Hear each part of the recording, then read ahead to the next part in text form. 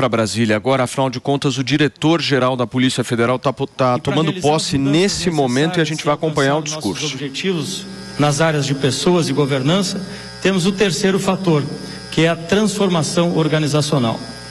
O aperfeiçoamento, aperfeiçoamento da estrutura da Polícia Federal, dimensão fundamental para o enfrentamento dos novos desafios, será possível graças ao enorme empenho do ministro Flávio Dino. Inviabilizar uma reestruturação inédita nas unidades da Polícia Federal em todo o Brasil, com criação de novas diretorias, delegacias e núcleos nas 27 unidades da Federação, num processo que chegará ao seu formato ideal durante a nossa gestão. Estou convicto, senhor ministro, de que esse esforço que o senhor, que o senhor faz hoje proporcionará transformações necessárias para a construção de uma Polícia Federal ainda mais eficiente na prestação dos seus serviços, de forma mais forte e republicana. Aproveito aqui esta oportunidade para reafirmar o compromisso da Polícia Federal com o Estado brasileiro. Nossa atuação será sempre pautada pelo estrito cumprimento da lei e pelos princípios do Estado Democrático de Direito. Esse será um norte inafastável na gestão das investigações policiais, que serão coordenadas com base no trinômio da qualidade da prova, na autonomia investigativa e na responsabilidade, com absoluto rigor em relação a desvios ou personalismos. Não permitiremos que projetos pessoais, interferências ou pressões de agentes públicos, grupos ou holofotes da mídia pautem qualquer ação institucional absolutamente nenhum desvio de finalidade será tolerado, porque só assim teremos uma Polícia Federal resistente a pressões do momento, pautada pela Constituição Federal e sempre comprometida com a verdade. E o compromisso com a verdade se torna ainda mais relevante diante de novos e desafiadores problemas: crise de refugiados, pandemias, aquecimento global, acirramento da intolerância, extremismo, proliferação de fake news. Essa problemática em especial, a disseminação criminosa da mentira no mundo digital, nos é particularmente desafiadora. Não apenas porque se insere na gama de atribuições legais da Polícia Federal, mas porque demonstrou em acontecimentos recentes sua efetiva nocividade.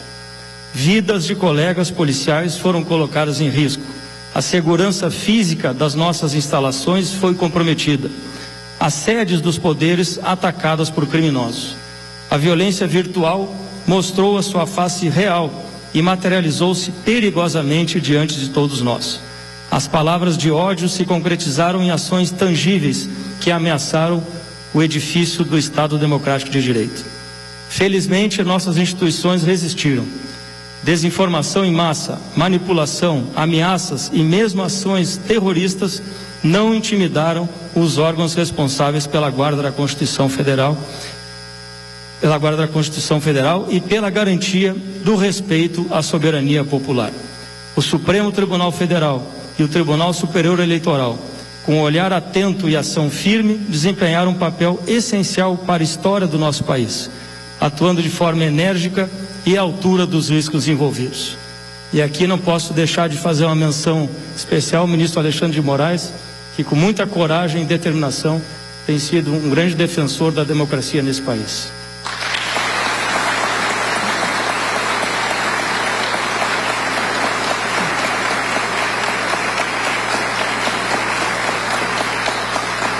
E essa é uma luta da qual a Polícia Federal jamais se esquivará.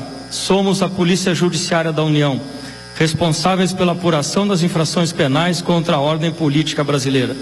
Atuaremos com muita firmeza e nos estritos termos da lei, como deve ser uma instituição de Estado. Aqueles que praticarem crimes ou se omitiram quando deveriam agir serão responsabilizados. A Polícia Federal, no limite das suas responsabilidades, não irá tolerar ataques à democracia. E é com grande senso de responsabilidade que seguiremos nosso papel de instituição de Estado, fiéis aos princípios e valores da Constituição de 1988 cientes de que as agências de cumprimento da lei são as guardiãs da espada da justiça. E a espada brandida pela Polícia Federal não precisa ser vistosa ou brilhante. Dela se espera apenas que seja precisa e certeira. Para concluir, senhor ministro, com o nosso compromisso de sermos rápidos, é, ao tempo que eu agradeço esse seu voto de confiança depositado em mim e na minha equipe, é, quero destacar que não carregarei o peso dessa missão solitariamente sobre os meus próprios ombros. A tarefa de tecer um novo amanhã para a Polícia Federal haverá de ser assumida por mais de 14 mil corações e mentes de todos os servidores da nossa instituição, irmanados nessa jornada transformadora que aqui se inicia. Muito obrigado a todos. Muito bem, nós ouvimos o discurso de posse de Andrei Passos, ele que é o novo diretor-geral da Polícia Federal, empossado nesse momento e a gente acompanhou aqui na Jovem Pan. Coloca o Conrado aqui na tela para mim, Vini, por favor, porque eu tive que interromper o nosso Fernando Conrado. Conradão, vou pedir para para você retomar o seu comentário, mas se você puder inserir também é, uma avaliação sobre essa fala agora que nós ouvimos, porque ele ainda fala sobre os ataques à democracia, dizendo que não vai tolerar esse tipo de ataque. Eu quero uma análise sua. Porque esse, uh, esse será o tom por quatro anos, meus amigos. Eu estou falando processo futuro. Tá? Vai ser quatro anos, não vamos tolerar ataque à democracia, ataque à democracia. Eu falei na posse do Lula, quando estava comentando aqui, que ia ser criado o Ministério de Defesa da Constituição. Deu dois dias, foi criado a Procuradoria de Defesa da Democracia. É, é, é assim, ó, só os profetas enxergam o óbvio. Me cobrem daqui, tudo que eu falei para vocês aconteceu nos limites das, no, nos limites que eu falei, né? Mesma coisa, agora vocês estão vendo ele falando que não vão ser tolerados abusos, tal, tal. Tem crianças presas num ginásio da Polícia Federal. Né? E a nossa lei pressupõe a individualização dos atos, até eles serem individualizados. As pessoas não podem ser punidas numa totalidade, por mais que muita gente queira vingança. Eu digo para vocês: a gente, ou a gente defende a garantia da lei, ou a gente vira um, um punitivista, ou a gente vira querendo vingança. A lei não é vingança. Tá? Ou a gente defende a lei ou a gente não defende a lei. Não tem meio termo nessa história. E eu fico triste só de dizer, ó, oh, puxa, olha só, eu né, eu não tinha entendido as coisas direito, agora eu vou tentar entender melhor. Vocês estão vendo exatamente o, o duplo pensar, o discurso é um, a realidade é outra, e vai ser assim sucessivamente. Conradão. Então, nós vamos para Brasília novamente porque agora, depois de Andrei Passos, fala o ministro Alexandre de Moraes na posse do novo diretor da Polícia Federal. Senador Randolph Rodrigues, que é o líder é, do governo é, no Congresso Nacional, cumprimentar os senhores e as senhoras cumprimentar é, o delegado Andrei por assumir esse importantíssimo cargo. Eu, institucional e pessoalmente, fico extremamente feliz com a assunção do delegado Andrei, a diretor-geral da Polícia Federal, não só pela é, capacidade técnica é, do delegado Andrei, mas também pela capacidade acadêmica, pela capacidade de pensar, pela capacidade de inovar, pela capacidade eh, de trabalhar. Tivemos a oportunidade eh, de trabalhar juntos quando eu fui ministro da Justiça, o André era secretário de grandes eventos, eh, participamos das Olimpíadas e Paralimpíadas, toda uma coordenação geral, principalmente da questão da inteligência. Esse todos nós é, que de uma forma ou outra atuamos na área de segurança pública, todos nós sabemos que é o grande desafio é, das polícias, é o grande desafio é, da segurança. A questão da inteligência, a questão das informações, a questão da junção de informações de diversas é, polícias, de diversos órgãos, para que nós é, possamos é, planejar, para que nós possamos nos antecipar para que nós possamos prevenir a criminalidade. A Polícia Federal tem uma tarefa importantíssima. A Polícia Federal tem a tarefa de cuidar das nossas fronteiras, a questão do tráfico internacional de drogas, o tráfico de pessoas, é, que não é tão, eu diria, não é tão divulgado pela mídia, mas é, é uma chaga que também, lamentavelmente, existe é, no Brasil. O combate é, à corrupção, é, o combate é, ao desmatamento, e aqui, ministra Marina presente, é o combate aos garimpos ilegais, e fico extremamente feliz porque ver a criação de uma diretoria ligada à Amazônia, ao meio ambiente, isso é extremamente importante. E a Polícia Federal é um orgulho do povo brasileiro. A Polícia Federal é um órgão de Estado, os governos passam, é, a Polícia Federal é, fica. É, a Polícia Federal é um órgão competentíssimo que vem, ano após ano, vem ganhando cada vez mais o respeito, a admiração da população. Eu, Andrei disse, e um pouco é culpa minha, né, que o pessoal não dormiu, mas eu também não dormi, Andrei. Né? É, e por, por é, eu diria, o destino, os desígnios de Deus, as duas operações, grandes operações contra terrorismo, feitas pela Polícia Federal, eu tive a oportunidade é, de participar. É, uma em 2016, como ministro da Justiça, Operação Hashtag, em que foram presos sete terroristas que pretendiam explodir.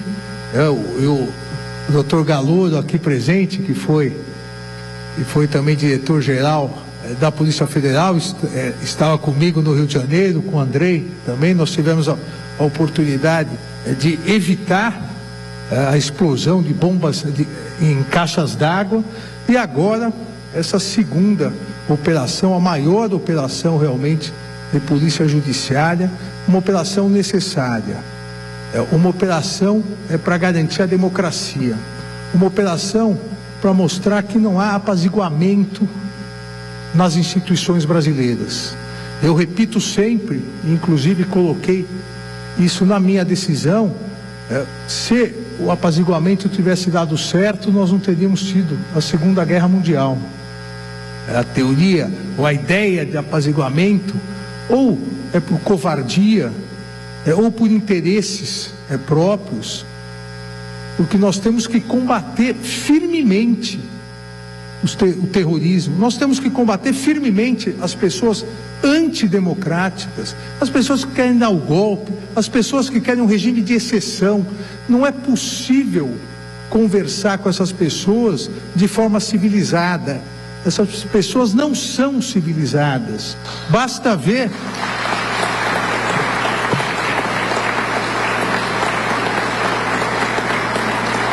Basta ver o que fizeram no Palácio do Planalto, no Congresso Nacional e com muito mais raiva e ódio é no Supremo Tribunal Federal. Mas as instituições, elas não são feitas é só é, de mármore, de cadeiras, de mesas. As instituições são feitas de pessoas, as instituições são feitas de coragem, as instituições são feitas de cumprimento da lei. Não achem esses terroristas que até domingo faziam baderna e crimes e agora reclamam porque estão presos, querendo que a prisão seja uma colônia de férias, é, não achem que as instituições irão fraquejar. O Poder Judiciário, o Supremo Tribunal Federal, e tenho absoluta certeza, com apoio dentro da legalidade, dentro da Constituição da Polícia Federal, as instituições irão punir todos os responsáveis todos, aqueles que praticaram os atos, aqueles que planejaram os atos, aqueles que financiaram os atos e aqueles que incentivaram por ação ou omissão, porque a democracia irá prevalecer. Parabéns ao Andrei, parabéns à Polícia Federal. Acabamos de ouvir o discurso do ministro Alexandre de Moraes na posse do diretor-geral da Polícia Federal que acontece nesse momento em Brasília e a gente vai repercutir um pouco dessa fala que eu particularmente anotei esta fala, meu querido uh, Marrom. Hum abre aspas, não é possível conversar com essas pessoas, essas pessoas que atentam contra a democracia, de forma civilizada. Foi Isso. o que disse Alexandre é, de Moraes. Concordo. não tem como. Concordo. Agora, não estou me referindo a quem votou em Bolsonaro. A gente precisa realmente fazer uma divisão, separar, fazer uma divisão clara. Você falar. É porque eu tenho pai que votou em Bolsonaro, mãe que votou em Bolsonaro, sobrinho, tio, meu grupo da família até lá um monte de gente que votou em Bolsonaro. É, é preciso separar essas pessoas. Agora, quem é radical, quem é extremista, quem quer quebra-quebra, não tem conversa, porque no fundo, lá no fundinho, eles se defendem atacando. Falei, ah, mas em 2013 teve também do PT, o, o, o esquerda fez em 2017. Não, não, calma aí, vamos abominar, vamos repudiar e não vamos deixar barato esse, esse, esse negócio aí. Escuta, desculpa interrompê-lo. Nós vamos agora voltar a Brasília novamente, porque fala o ministro da Justiça Flávio Dino nessa posse concorrida do novo diretor-geral da Polícia Federal. E nós estamos exatamente, senhoras e senhores, nesta manhã, em torno desses propósitos enunciados por Sua Excelência, que aqui veicula as palavras de todo o sistema de justiça do nosso país. O doutor Andrei e a sua equipe estão investidos exatamente dessa responsabilidade. E quero agradecer muito fraternalmente a ele, à diretoria, mas também vivamente e muito fraternalmente todos e todas integrantes desta instituição do Estado brasileiro. Eu agradeço ao doutor Andrei e à sua família, porque numa hora grave como esta, é claro que a sombra é muitas vezes buscada por muitos. E é preciso ter exatamente discernimento quanto à magnitude dos desafios, coragem patriótica e coragem pessoal para assumir os encargos públicos em hora tão grave da nossa nação. Por isso eu abraço simbolicamente toda a sua família na pessoa da sua é, irmã mais velha que aqui está travestida de sua mãe, a dona Laís, a quem eu peço uma salva de palmas.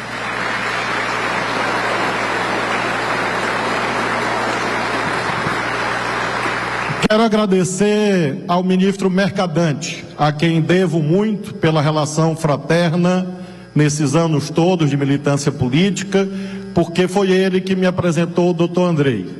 Ministro Mercadante ministro Benedito, ministro Sebastião, chegou para mim em plena campanha eleitoral. Eu bronzeado como nunca, do sol do nosso estado, da linha do Equador praticamente. E disse assim: Flávio, se você se eleger senador, já me correu um frio na espinha, porque todo candidato acha que vai ganhar. Se o presidente Lula ganhar, talvez você seja indicado para ministro da Justiça. Eu pensei, já tem três se eu me eleger, se Lula se eleger, talvez se eu, se eu for. Mas como eu gosto muito do mercadante, continuei a ouvir, Marina, o que ele tinha a dizer. E se esses sis todos aconteceram, acontecerem, você pode, talvez, precisar de um diretor-geral da Polícia Federal. E neste caso, eu gostaria de lhe apresentar uma pessoa que é exatamente o doutor André. Muito bem, Deus abençoou, todos os sis aconteceram e cá estamos, doutor Andrei, na sua posse. Muito obrigado, ministro Mercadante. Celebramos aqui juntos o hino nacional. do discurso Celebramos do ministro da Justiça, Flávio Dino, na posse do novo diretor-geral da Polícia Federal. Marrom, eu fiz exatamente com você o que eu fiz com o Conrado, que uhum. foi interrompê-lo, né? Não sei se você perdeu a linha de raciocínio que você estava fazendo, mas você pode continuar. Conta gotas, aqui é, tá sendo assim, mas tá maravilhoso.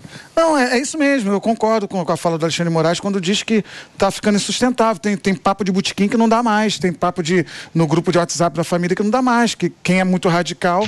Agora, eu quero aproveitar esse momento também para pedir misericórdia, piedade às pessoas mais velhas que estão lá presas e detidas por enquanto, crianças, realmente, cara, tem, tem, tem, que ter um outro olhar, um olhar de piedade para essa turma e ver quem estava de fato envolvido lá dentro quebrando as coisas ou quem foi pego de, de, de bobo, quem foi feito assim, ah, ei, tá aqui também verde e amarelo, vem cá e tal. Mas como que faz isso? Peraí, ah, tem uma triagem, tem uma queria trazer uma, uma informação, porque foi alguma coisa que o Conrado trouxe e que eu acho que tem que ser cobrado e que até eu acho que é isso, né? Tem que se olhar. Qualquer pessoa que é presa, que está sob ali a ordem do Estado, ela não pode, enfim, passar por mal maus tratos e tal. E o Ministério dos Direitos Humanos, através da pessoa do Silvio Almeida, hoje publicou uma nota exatamente nesse sentido. Então, vou ler um trecho aqui para vocês. Ó. O Ministério dos Direitos Humanos e da Cidadania informa que já está em contato com o Ministério da Justiça a fim de monitorar a situação das pessoas detidas após as arruaças que se deram em Brasília no último domingo. As prisões em flagrante estão sendo lavradas e as pastas irão atuar conjuntamente para que a legalidade sempre seja observada. Então, Então, essa nota emitida, acho que nesse sentido dessa preocupação, né, de muita gente com essas pessoas que estão ali, é um número grande de pessoas, não é fácil de coordenar uma operação dessa sem precedentes. Então, aqui o Ministério dos Direitos Humanos se pronunciando. Muito bem, Conradão. Aqui é conta-gotas, queridos. Você vai falar daqui a pouquinho, porque a gente volta a ouvir um pouquinho o ministro da Justiça, Flávio Dino, direto de Brasília. De atos hediondos. E por isso mesmo, amigos e amigas, sejamos nós autenticamente cristãos, sejamos nós autenticamente patriotas e, garantir, e possamos garantir a autoridade da lei. Exatamente, doutor Andrei, esta é a sua missão, garantir o princípio da responsabilidade. Esta é a missão dessa instituição. Ocorre, contudo, senhoras e senhores, a segunda ideia força. Isto não é feito, meu amigo deputado Marcelo Freixo, senador Randolph. Isto não é feito de qualquer maneira, senhores ministros. Nós não somos e não podemos ser adeptos do vale tudo. Não é a lei do mais forte. Os fins não justificam os meios, por mais nobres que eventualmente eles sejam. E este é o segundo trilho mandatório. Mandatório não porque eu estou dizendo, como chefe dessa instituição. Mandatório porque a Constituição manda. Princípio da legalidade. Dele nós não podemos nos apartar independentemente de preferências ideológicas, políticas, eleitorais. Não me interessa, como representante do presidente Lula no comando dessa instituição, em quem as pessoas votaram. Não me interessa em quem elas votarão. Respeito todos os gostos por mais exóticos que eventualmente eles sejam. Eu, por exemplo, sou botafoguense. Mas, independentemente de numa avenida transitarmos pela direita ou transitarmos pela esquerda, todos nós temos que cumprir o Código de Trânsito. Todos nós temos princípios processuais penais a cumprir, todos nós temos princípios éticos a cumprir, e nós não permitiremos que sabores individuais, ideologias, preferências eleitorais contaminem as instituições brasileiras, porque nós vimos a tragédia. A tragédia que tem rosto, que tem materialidade, não foi feita por desvairados apenas. A tragédia foi feita também por agentes públicos, nesses anos todos, por ação ou por omissão. E nós temos que nos livrar dessa contaminação indevida. Princípio da legalidade, princípio da impessoalidade, da moralidade, da publicidade, da eficiência plexo constante do artigo 37 da Carta Magna. Amigos amigas, são mensagens simples. E com isto vamos conviver muito bem no ambiente de trabalho. Ambiente de trabalho em que temos responsabilidade, legalidade e temos um chefe, Dr. Andrei, que representa o chefe de Estado, chefe de governo eleito pelo voto popular. Estamos, em conclusão, no momento em que nós somos desafiados por situações inéditas.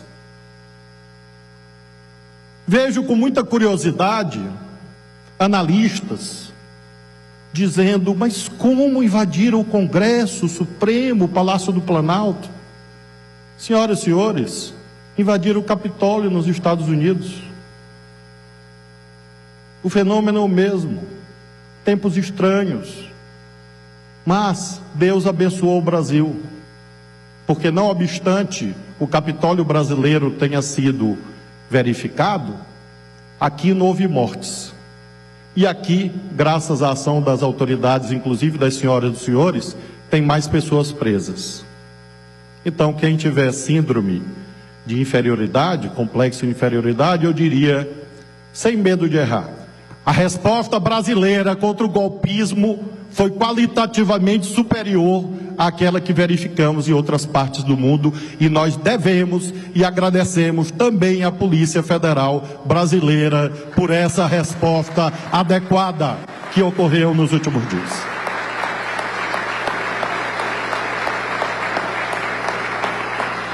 Irmãos e irmãs, amigos e amigas, fé sem obras é morta, escreveu Tiago na Bíblia. Então nós não devemos apenas olhar para os nossos espelhos domésticos e nos envaidecermos. É preciso que nós lembremos dos nossos chefes supremos, o povo, simples, humilde, aqueles que precisam do serviço público, aqueles que acumulam capital social cultural, econômico nas suas mãos, não precisam de nós tanto quanto os desvalidos, os invisibilizados, aqueles que tiveram seus direitos negados. Doutor Andrei, o senhor e sua equipe terão de mim lealdade plena. Não costumo largar a mão de amigo ou amiga em hora de dificuldade, porque não tenho medo de nada nem de ninguém. E o senhor pode ter absoluta certeza que a nossa equipe está unida. Toda a equipe do Ministério da Justiça está aqui, toda, sem exceção, para lhe prestigiar e homenagear a Polícia Federal Brasileira. Muito obrigado. Muito bem, nós ouvimos agora o discurso de Flávio Dino, ministro da Justiça, dentro da posse do diretor-geral da Polícia Federal,